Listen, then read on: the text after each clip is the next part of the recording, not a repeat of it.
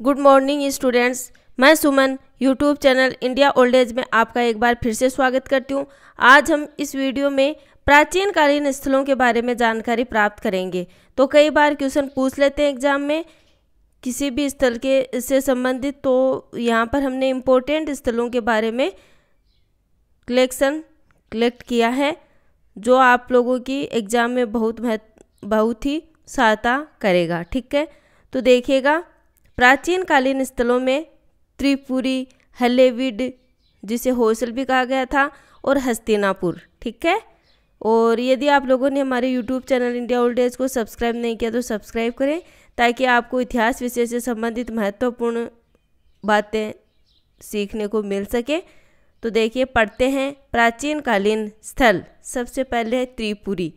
मध्य प्रदेश के जबलपुर से पश्चिम की ओर सात मील दूरी पर स्थित वर्तमान तेवर ग्राम ही प्राचीन समय का त्रिपुरी नगर था। इस नगर का उल्लेख महाभारत में भी मिलता है। यहाँ के राजा अमितोजस पर सहदेव के विजय का उल्लेख मिलता है। पुराण भी इस नगर का उल्लेख करते हैं। इस नगर को विशेष प्रसिद्धि कलचुरी वंश अर्थात 845 से 1070 ईस्वी के समय में मिली थी। उन्होंने यहाँ अपनी राजधानी बसाई थी। कलचुरी शासन में इस नगर का चहुमुखी विकास हुआ तथा इसे भवनों, मंदिरों एवं मूर्तियों से सजाया गया। यहाँ के खंडहरों से कई मूर्तियाँ मिली हैं, जिनसे त्रिपुरेश्वर महादेव की मूर्ति उल्लेखनीय है। एक गज लक्ष्मी की मूर्ति तथा कई शैव मंदिरों के अवशेष भी मिलते हैं। यहाँ से प्राप्त स्मारकों को भारतीय संग्रहालय कलकत्ता में सुरक्षित किया गया है। ठीक है? अब अगला स्थल आता है हलेविड जिसे होयसल भी कहा गया है। होयसल वंश की राजधानी द्वार समुद्र का आधुनिक नाम हलेविड है, जो कर्नाटक राज्य में बेलूर के पास स्थित है। इसे पूर्व में, इसे पूर्व में द्वार समुद्र या द्वार समुद्र भी कहा जाता था। यह होयसल राजवंश की राजधानी रहा है। होयसल राजाओं ने यहाँ ग्यारह ईस्वी से लेकर तेरह ईस्वी तक राज्य किया था। उन्होंने यहाँ कई मंदिरों का निर्माण करवाया था। उनके द्वारा बनवाया गया होयसलेश्वर का मंदिर सर्वाधिक प्रसिद्ध है। केदारेश्वर मंदिर भी यहीं बना हुआ है। मंदिर की दीवारों पर देवता, मनुष्य, पशु, पक्षी आदि की सुंदर एवं आकर्षक मूर्तियाँ बनी हुई हैं। इस मंदिर का निर्माण विष्णुवर्धन ने करवाया था। होसलेश्वर मंदिर के अलावा हलेवीर से कई जैन मंदिर भी प्राप्त हुए हैं। इनमें पार्श्वनाथ का मंदिर उल्लेखनीय है, जिसमें उनकी चौदह ऊँची, चौदह फीट ऊँची प्रतिमा रखी गई है। दो अन्य मंदिरों से ऋषभ देव तथा शांतिनाथ की प्रतिमाएँ भी मिली हैं। वर्तमान हलेबिडू, अर्थात हलेबिड का अर्थ है नष्ट शहर। इस शहर को बहमनी साम्राज्य द्वारा दो बार नष्ट किया गया था। हलेविड को भारतीय मंदिर और शिल्प कला का दर्शन कराने वाले स्थान के रूप में जाना जाता है। इसकी राजधानी जन अनुयायी नृपा कामा ने की थी। जैन अनुयायी नृपा कामा ने की थी। होयसल शासक कला और शिल्प के संरक्षक थे। बेलूर और हलेविड में इन्होंने भव्य मंदिरों का निर्माण कराया था। अब अगला स्थल आता है हस्तिनापुर।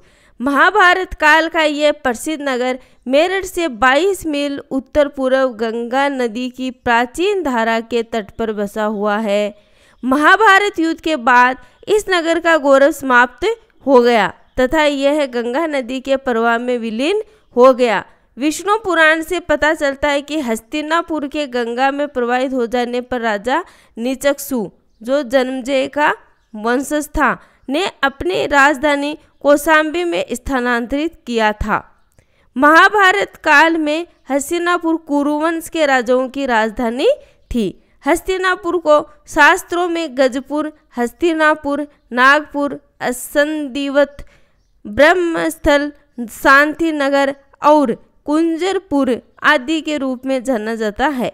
सम्राट अशोक के पौत्र राजा संप्रति ने यहाँ अपने साम्राज्य के दौरान कई मंदिरों का निर्माण किया है। प्राचीन मंदिर और स्तूप आज यहाँ नहीं हैं। हस्तिनापुर को पुरातात्विक मानचित्र पर रखने का श्रेय बीबी लाल को है, जिन्होंने भारतीय पुरातत्व सर्वेक्षण विभाग की ओर से 1950 से लेकर उन्नीस सौ बावन ईस्वी तक यहाँ पर उत्खनन कार्य करवाया था। यहाँ खुदाई से पाँच संस्कृतियों के अवशेष प्रकाश में आए हैं, जिन्हें गैरिक, चित्री धूसर, उत्तरी काली चमकीली अर्थात एनबीपी तथा उत्तर एनबीपी संस्कृति कहा जाता है। यहाँ की पांचवी संस्कृति मध्यकाल की है। सभी से संबंधित मिट्टी के बर्तन खुदाई से प्राप्त होते हैं। गैरिक संस्कृति, जो प्रथम संस्कृति के स्तर से केवल कुछ पात्र खंड ही मिले हैं, जो गेरुए रंग से पुते हुए हैं। भवन निर्माण का कोई साक्ष्य नहीं मिलता है। दूसरी संस्कृति अर्थात चित्रित दूसरी संस्कृति से बर्तन प्राप्त होते हैं। इनमें स्लेटी रंग की थालियाँ, कटोरे, घड़े, मटके, नान आदि हैं। बर्तनों के ऊपर चित्रकारियाँ भी मिलती हैं। इस स्तर से भवन निर्माण के साक्ष्य प्राप्त हुए हैं। पता चलता है कि भवन निर्माण में मिट्टी तथा बाँस बलि बाँस बलि का प्रयोग होता था। लोग कृषि तथा पशुपालन से परिचित थे। खुदाई में गाय बैल, भेड़, बकरी, घोड़े आदि पशुओं की हड्डियाँ तथा चावल के दाने प्राप्त होते हैं। कुछ हड्डियों पर काटे जाने के चिन्ह भी हैं तथा कुछ जलने से काली भी पड़ आई हैं, पड़ गई हैं। हरिण के सिंगों के अवशेष भी मिलते हैं। संभवतः इनका शिकार किया जाता था। आभूषणों में मनके तथा कांच की चूड़ियाँ मिलती हैं। अन्य उपकरणों में चाकू, कील तीर, भाला, हंसिया, कुदाल, चिमटा आदि का उल्लेख किया जा सकता है। तीसरी संस्कृति एनबीपी के निवासी काले चमकीले भांडों का प्रयोग करते थे तथा पक्की ईंटों से बने भवनों में निवास करते थे। उनकी सभ्यता पूर्ववर्ती युगों की अपेक्षा अधिक विकसित थी। गंदे पानी को बाहर निकालने के लिए नालियों की भी व्यवस्था की गई थी। इन्हें विशेष प्रकार की ईंटों से बनाया जाता था। वे तांबे तथा लोहे के उपकरणों का भी प्रयोग करते थे। खुदाई में इन धातुओं के उपकरण प्राप्त होते हैं।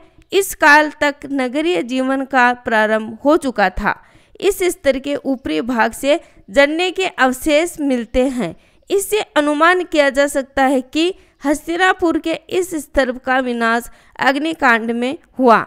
चौथे सांस्कृतिक स्तर अर्थात उत्तर एन बीपी यहाँ से कई प्रकार के मृद भांड प्राप्त हुए हैं। ये लाल रंग के हैं, जिन पर कहीं कहीं काले रंग से चित्रकारी भी की गई है। स्वास्तिक, त्रिरत्न, मीन फूलपतियों आदि के आकारों के ठप्पे भी पात्रों पर लगाए गए हैं। मकानों के निर्माण में पक्की ईंटों का प्रयोग किया गया है। साथ ही साथ सुंग काल से लेकर गुप्त काल तक की मिट्टी तथा पत्थर की प्रतिमाएँ भी मिलती हैं। शुंगकालीन प्रतिमाओं में एक स्त्री की मूर्ति अत्यंत सजीव एवं आकर्षक है। उसके हाथों, चेहरे, आँखों केसों आदि को विविध प्रकार से सजाया गया है। कुषाण युगीन प्रतिमाओं में मैत्रेय की प्रतिमा सुंदर है तथा कुछ बर्तनों के ऊपर निर्माताओं के नाम भी उत्कीर्ण हैं। मथुरा के दत्वंशी शासकों, कुषाण राजाओं तथा योद्धाओं के सिक्के भी यहाँ से मिलते हैं। बीबी लाल का अनुमान है कि हस्तिनापुर की प्राचीनतम गैरिक संस्कृति का समय ईसा पूर्व 1200 के पहले का है। सिक्कों के आधार पर यहाँ की चतुर्थ संस्कृति का समय ईसा पूर्व 200 से 300 ईस्वी तक निर्धारित किया गया है। चतुर्थ काल के बाद लगभग आठ शताब्दियों तक हस्तिनापुर में आवास के साक्ष्य नहीं मिलते। जब यहाँ पांचवी बार बस्ती बसाई गई तो सब कुछ परिवर्तित हो चुका था। इस स्तर से दिल्ली सल्तनत के सुल्तान बलबन का एक सिक्का मिलता है, जिसके आधार पर इसे मध्यकालीन माना जाता है।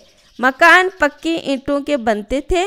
इस काल के कचित मृदभांड विशेष रूप से उल्लेखनीय है। पार्वती तथा ऋषभ देव की प्रस्तर प्रतिमाएँ भी प्राप्त हुई हैं। डॉक्टर लाल ने हस्तिनापुर की अंतिम संस्कृति का समय 1200 से 1500 ईस्वी के बीच निर्धारित किया है। पंद्रहवीं शताब्दी के बाद से यहाँ मानव आवास के साक्ष्य नहीं मिलते हैं। इस प्रकार स्पष्ट होता है कि हस्तिनापुर में लंबे समय तक मानव आवास विद्यमान रहा। जैन ग्रंथों में भी हस्तिनापुर को महत्व दिया गया है। इसका संबंध कई तीर्थंकरों जैसे कि शांति, कुंतु, अरनाथ आदि से बता, बनाया गया है, अर्थात बताया गया है। अतः यह स्थान जैनियों का तीर्थ स्थल माना जाने लगा। तो देखिएगा स्टूडेंट्स, इस वीडियो में हमने जिन स्थलों के बारे में पढ़ा, वो एग्ज़ाम की दृष्टि से बहुत महत्वपूर्ण है। अतः वीडियो को बार बार देखें और इसी प्रकार बने रहें YouTube channel India old age पे।